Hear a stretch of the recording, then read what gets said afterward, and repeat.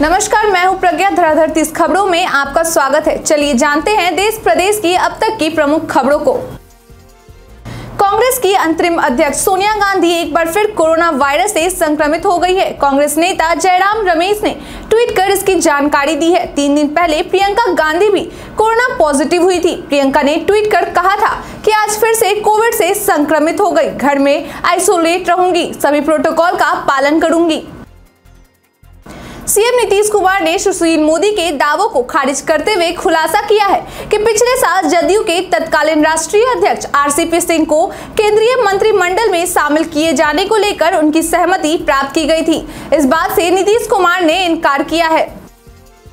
BCCI सचिव जैसा PTI से कहा कि वीवीएस लक्ष्मण तीन मैचों की एक दिवसीय श्रृंखला के लिए जिम्बाब्वे में भारतीय टीम के प्रभारी होंगे। आपको बता दें कि टीम इंडिया जिम्बाब्वे से तीन मैचों की वनडे सीरीज़ खेलेगी, जिसका पहला मुकाबला 18 अगस्त, दूसरा मुकाबला 20 अगस्त, तीसरा और अंतिम मुकाबला 22 अगस्त को हरारे में खेलेगी। अमेरिका के न्यूयॉर्क में शुक्रवार को न्यूयॉर्क के चौटुक्ता संस्थान ने कार्यक्रम में ब्रिटिश लेखक सलमान रूसदी पर चाकू से हमला हुआ था। हमले के कारण सलमान रूसदी के लीवर को नुकसान पहुँचा है। हमलावर की पहचान 24 वर्षीय हादी मतर के तौर पर की गई है, जिसे हिरासत में ले लिया गया है। हमलावर न्यू जर्सी का रहने वाला है।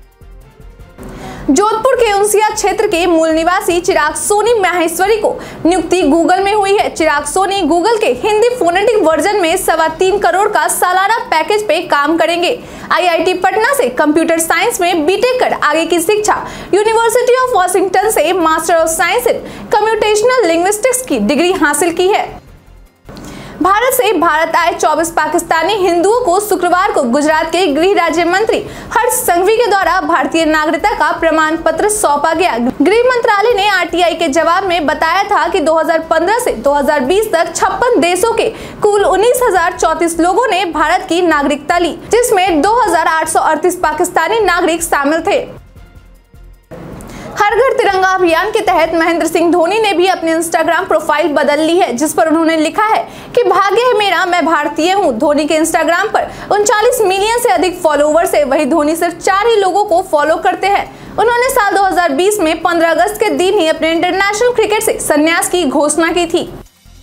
वरिष्ठ भाजपा नेता व पूर्व केंद्रीय मंत्री मुख्तार अब्बास नकवी ने विपक्ष पर निशाना साधते हुए कहा है मोदी फोबिया की राजनीतिक बीमारी से पीड़ित लोग जल्द ही गायब हो जाएँगे पीएम पद की वैकेंसी खाली न होने के बावजूद विपक्ष ने दो दर्जन उम्मीदवारों की प्रतीक्षा सूची तैयार कर ली है इसे वैनिटी विदाउट वैकेंसी कहा जाता है मंत्री नवाब मलिक ने एनसीबी के पूर्व जोनल निदेशक समीर वानखेड़े पे जन प्रमाण पत्र को लेकर जो शिकायत दर्ज की थी, उसे लेकर जाति जाँच समिति के द्वारा समीर वानखड़े को क्लीन चिट दे दी गई है। आदेश में कमेटी ने कहा कि समीर वानखड़े जन्म से मुस्लिम नहीं थे।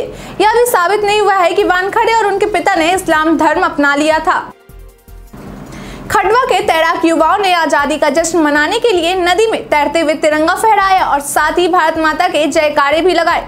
इस पर प्रधानमंत्री ने ट्वीट कर कहा कि इस जज्बे को, प्रणाम तिरंगे के प्रति अतुलित सम्मान को, यह साहसी दृश्य भारतीय के उत्साह और उमंग को दर्शाता है। उनका यह वीडियो सोशल मीडिया पे भी वायरल हुआ है।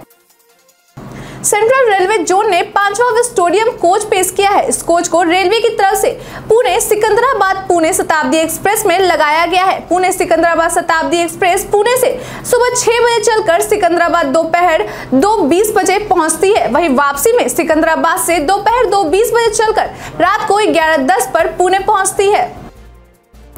प्रधानमंत्री नरेंद्र मोदी ने शनिवार को कॉमनवेल्थ गेम्स के मेडल जीतने वाले खिलाड़ियों से मुलाकात की और उन्हें बधाई दी। मोदी ने इस दौरान कहा, आप लोग स्कूल में जाए और आज के युवा आपको रोल मॉडल के रूप में देखते हैं। हॉकी में हम जिस तरह अपना पुराना रुतबा हासिल कर रहे हैं, वह काबिले तारीफ़ है। बेटियों ने अच्छा प्रदर्शन किया है।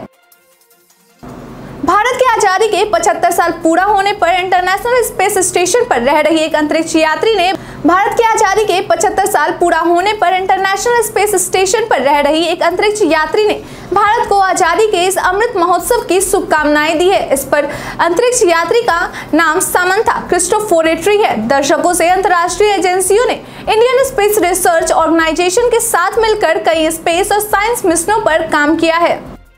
महिलाओं की इंडियन प्रीमियर लीग मार्च 2023 में एक महीने की विंडो में शुरू की जाएगी।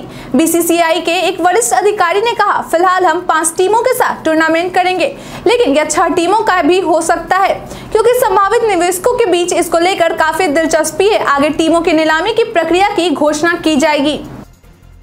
लखीमपुर खीरी हिंसाकांड में मारे गए किसानों के परिवार को न्याय दिलाने के लिए किसान नेता राकेश टिकैत 75 घंटे के धरने पर बैठने जा रहे हैं।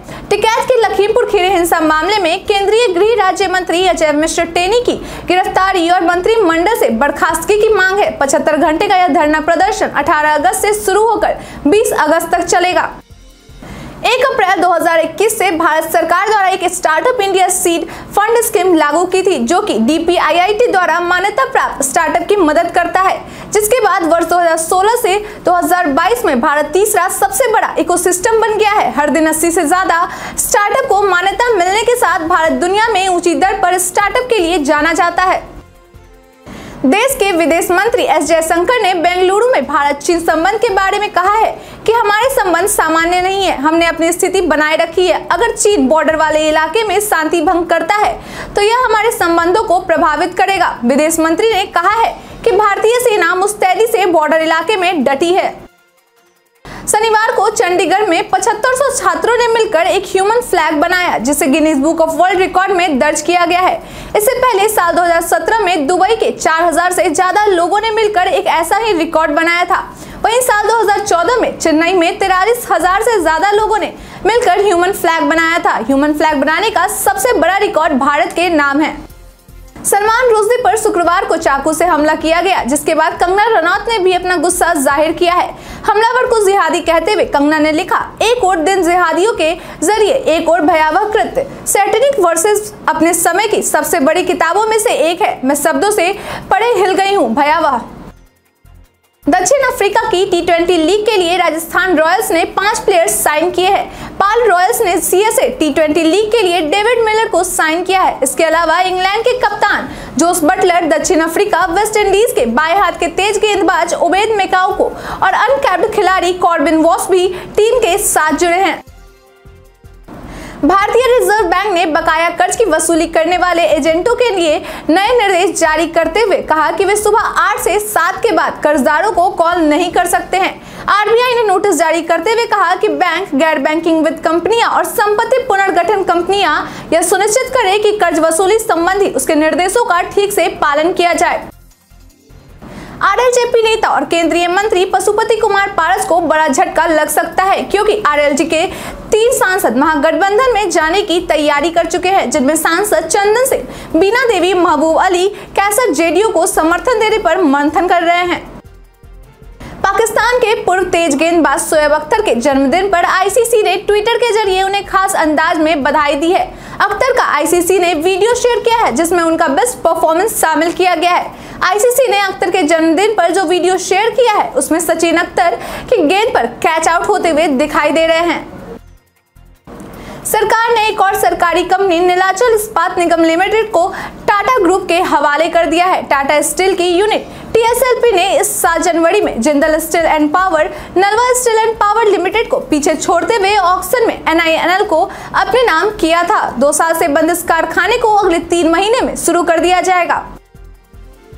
एआईएमआईएम प्रमुख असुद्दीन ओवैसी ने भारत की स्वतंत्रता में मुसलमानों की भूमिका के बारे में बात की और प्रधानमंत्री नरेंद्र मोदी पर निशाना साधते हुए कहा, देश की आज़ादी में योगदान देने वाले मुसलमानों को भी प्रधानमंत्री को याद रखना चाहिए। स्वतंत्रता के लिए ज़मीन हमारे स्वतंत्रता सेनानियों ने तैयार की थी, न की गोडसे ने। देश की राजधानी दिल्ली में मंकी पॉक्स का एक और मामला सामने आया है। दिल्ली में मंकी पॉक्स के पाँच मामले मिल चुके हैं। मंकी पॉक्स का पहला मरीज़ 14 जुलाई को केरल में सामने आया था। उसके बाद देश का चौथा और दिल्ली का पहला मरीज़ 24 जुलाई को मिला था। दिल्ली में मंकी पॉक्स के सभी मरीज़ एल अस्पताल में भर्ती हैं। तेजस्वी प्रकाश को नागिन छह के सेट पर शूटिंग के दौरान सिर पर चोट लगी है, जिसकी जानकारी एक्ट्रेस ने इंस्टाग्राम के ज़रिए दी है। तेजस्वी प्रकाश ने एक वीडियो शेयर की है, जिसमें करण हँसते हुए तेजस्वी के सिर पर बर्फ़ लगाते हुए नज़र आ रहे हैं। उनका वो अंदाज काफ़ी प्यार भरा है। चोट लगने से तेजस्वी के सिर पर लाल चोट और सूजन दिखाई दे रहा है। पंजाब में एक विधायक एक पेंशन कानून पर मुहर लग गई है। अब विधायकों को केवल एक कार्यकाल के लिए ही पेंशन मिलेगी। पंजाब के मुख्यमंत्री भगवंत मान ने ट्विटर पर जानकारी देते हुए लिखा, एक विधायक एक पेंशन वाले बिल को मंजूरी दे दी है और नोटिफिकेशन जारी कर दिया गया है। इस विधेयक को मंजूरी मिलने से जनता के टैक्स को काफ़ी पैसा बचेगा। 10 अगस्त की सुबह राजू साउथ स्टेशन में कलफिल जिम में ट्रेडमिल पर दौड़ते वक्त गिरकर बेहोश हो गए थे। हेल्थ अपडेट्स में यह बात सामने आई है कि हार्ट अटैक के बाद राजू श्रीवास्तव का ब्रेन डैमेज हो गया था, जिसके कारण उन्हें होश नहीं आया। प्रधानमंत्री और योगी आदित्यनाथ ने राजू के परिवार से बात कर मदद की पेशकश भी की थी। संबित पात्रा ने ट्वीट करते हुए लिखा है, केजरीवाल और मनीष सिसोदिया ने अपने शराब माफिया दोस्तों का 144 करोड़ रुपया माफ़ करके याराना निभाया। दिल्ली कैबिनेट ने पहले सब पास कराया, फिर उसके बाद सब खारिज किया, क्योंकि उन्हें पता था कि उनसे गलती हुई है। संबित पात्रा ने आगे कहा, जो हाल सत्येंद्र जैन का हुआ है, वही हाल मनीष सिसोदिया जी का भी होने वाला है। बीते दिन हमारे द्वारा पूछे गए सवाल का आप लोगों में से बहुत लोगों ने अपना जवाब हमें कमेंट सेक्शन बॉक्स में लिख कर दिया था। जिन्होंने भी हमारे द्वारा पूछे गए सवाल का जवाब दिया है, उनके नाम है नुन्नू कुमार, रघुनाथ प्रसाद, सिद्धार्थ कुमार, अंजिमा फिरदौस, एस निशा इसके साथ ही बढ़ते हैं आज के सवाल की ओर। आज का सवाल है, हमारे देश में जो तीन दिन का अमृत महोत्सव चल रहा है, उसमें आप अब तक शामिल हुए या नहीं हुए? अपने जवाब आप हमें हमारे कमेंट सेक्शन बॉक्स में लिख कर दे सकते हैं। आज के लिए इतना ही धन्यवाद।